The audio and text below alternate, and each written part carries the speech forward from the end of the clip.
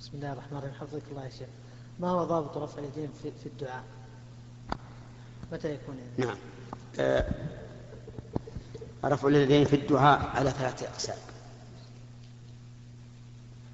القسم الأول ما وردت به السنة. ما وردت به السنة فهذا ظاهر. أنه يسن فيه الرفع. مثل دعاء الاستسقاء. إذا استسقى الإنسان في صلاة الجمعة في خطبة الجمعة أو في خطبة الاستسقاء فإنه يرفع يديه وكرفع اليدين على الصفاء وعلى المروة وكرفع اليدين في عرفة في الدعاء وكرفع اليدين عند الجمرة الأولى في أيام التشريق والجمرة الوسطى. ولهذا في في الحج ستة وقفات ست وقفات الوقفة الأولى على الصفاء والثانية على المروة والثالثة في عرفة والرابعة في مزدلفة بعد صلاة الفجر والخامسة بعد الجمرة الأولى في أيام التشريق والسادسة بعد الجمرة الوسطى في أيام التشريق.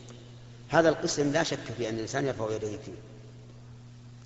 والقسم الثاني ما, ما لم يرد ما ورد فيه عدم الرفع.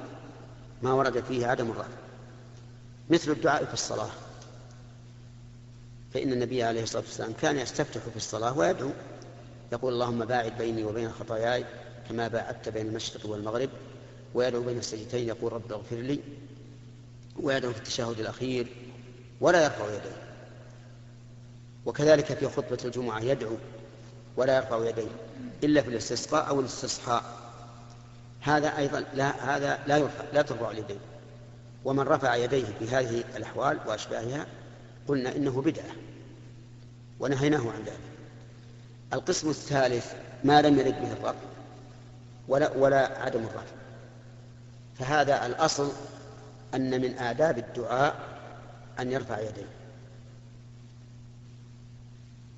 لقول النبي عليه الصلاة والسلام إن الله حي كريم يستحيي من عبده إذا رفع إليه يديه أن يردهما صفرا. وذكر النبي صلى الله عليه وسلم الرجل يطيل السفر أشعث أغبر يمد يديه إلى السماء يا ربي يا رب ومطعمه حرام وملبسه حرام وغذي بالحرام فأنى يستجاب لذلك. فجعل النبي عليه الصلاة والسلام رفع اليدين إلى الله من أسباب إجابة الدعاء. فهذه أقسام رفع اليدين. ولكن في القسم الذي ترفع فيه الأيدي هل إذا فرغ من الدعاء يمسح وجهه بيديه؟ الصحيح أنه لا يمسح وجهه بيديه. لأن الحديث الوارد في ذلك ضعيف. لا تقوم به حجة.